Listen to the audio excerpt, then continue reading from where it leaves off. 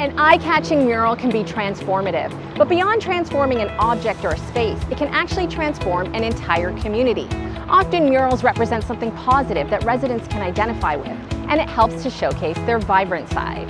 Here's a look at some of the murals you'll see along the Eglinton Crosstown Corridor, which were community-driven and youth-led.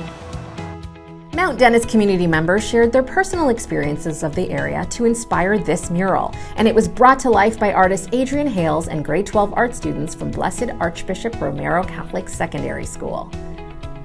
This graphic installation was created by Toronto based artist Nuff and displays themes of silence and simplicity. It depicts life in the Mount Dennis community now and in times to come.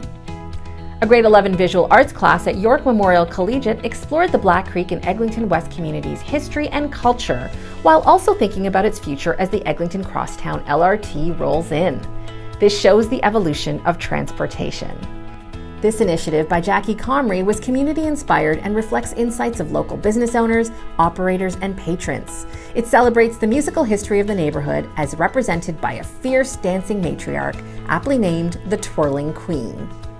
The Community Spirit mural by Kersha Wright reflects insights shared by local youth about their own community and features a rainbow of colors representing the area's diversity. We see Thorncliffe Park Raceway on the far left, all the way to the future LRT station on the right. Keep an eye out for these works of art along the Eglinton corridor, and if you're into art, check out our Gallery City Art Crawl event at gallerycity.ca.